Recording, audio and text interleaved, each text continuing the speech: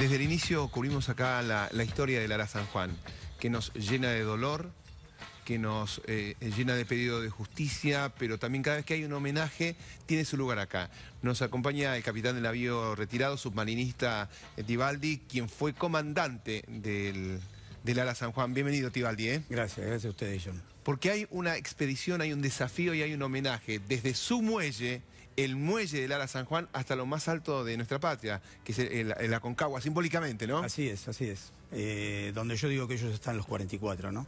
En el lugar más alto de la patria. ¿Usted comandó el Ara San Juan? Sí, por suerte tuve do- dos años de tener el privilegio de, de poder comandar el submarino San Juan y, y hacer prácticamente toda mi carrera en el submarino San Juan, ¿no? De hecho, Tibaldi recibió eh, casi cero kilómetros junto con la primera tripulación. Claro, cuando vino de Alemania, una de esas grandes navegaciones que tuvo el San Juan desde Alemania, eh, ahí cuando llegó yo, yo ya eh, eh, participé de esa primera tripulación. Que era una gloria, era una joya. Exactamente, cero kilómetros.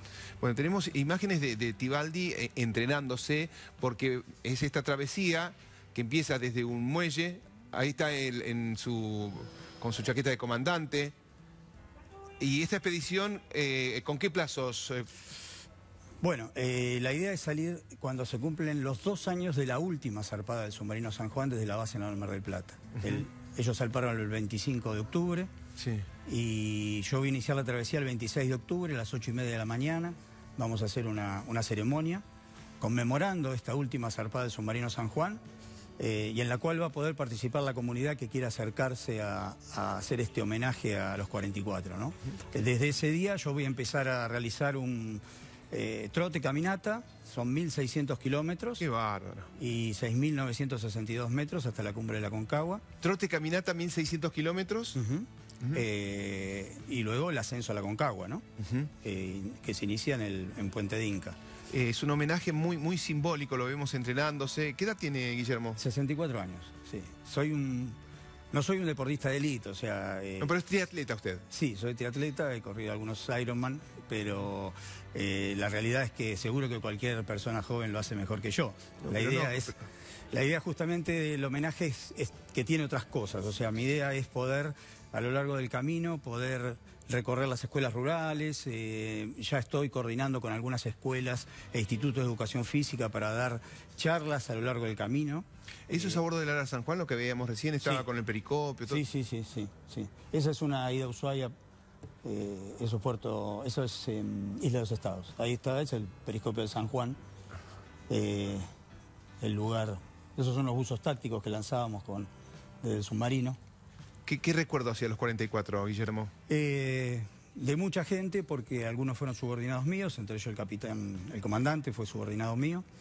Eh, y creo que los, los recuerdos exceden eh, el hecho solamente de las personas, ¿no? También los lugares, los olores, eh, el tacto al periscopio, es, un- es algo muy particular. ¿Esta tripulación trató hasta lo último de mantener con vida a la nave? Seguramente que sí, sí, seguramente que sí. Eh, creo que, que nosotros estamos preparados, sabemos que es una actividad de riesgo y no me cabe duda que, que ellos hicieron todo lo posible. Por eso a veces cuando uno dice héroes, a mí al principio me hacía un poquito de ruido y sin embargo yo me doy cuenta que, que son héroes porque nunca se va a saber lo que pasó exactamente ahí y cuántos héroes hubo para poder salvar la nave, ¿no? ¿De la profundidad a la altura, entonces? Exactamente, desde 0 metros hasta los 6.962 metros. La expedición tiene otros dos objetivos, como te decía, uno educativo, que es el hecho de, de- de que la gente pueda intercambiar eh, eh, cosas conmigo de lo que es la vida a bordo, de, la, de cómo se maneja un submarino. No, no, y el de cuidado del de San ambiente. Juan, exactamente. O sea, la riqueza marítima argentina, caray. la protección de los intereses marítimos a los chicos, a los chicos del interior. Y tengo otro tercer objetivo, que es un, un objetivo material para poder dejar algo después que esto termine, que es poder erigir un memorial en la ciudad de Mar del Plata, posiblemente en la Escollera Norte o cerca de ella, eh, con el nombre de los 44. Es un, un memorial para lo cual el Banco Nación tuvo la gentileza de poderme abrir una cuenta que se llama cuenta benéfica, Sí. eh, a la cual yo no tengo acceso y la gente puede de alguna manera simbólicamente adquirir alguno de esos 6.962 metros del nivel que voy a tener que cubrir a 100 pesos el metro y con ese dinero poder erigir ese memorial a mi regreso. Eh, vamos en las redes, vamos a poner el número de la cuenta, es una cuenta del Banco Nación, no tiene acceso Guillermo, tenemos acceso quienes queremos colaborar. Eh, lo poquito que puedas va a ser muy simbólico. Eh, todo lo que sea para honrar a los 44, para honrar a Lara San Juan, eh, siempre va a ser útil. Y, y vas a poner el cuerpo, no solo el alma. Eh, sí, seguramente que sí, tendré momentos difíciles seguramente, pero la idea de esto es que, que sea una peregrinación, o sea, que, que, que la gente se sume también en el camino, ¿no?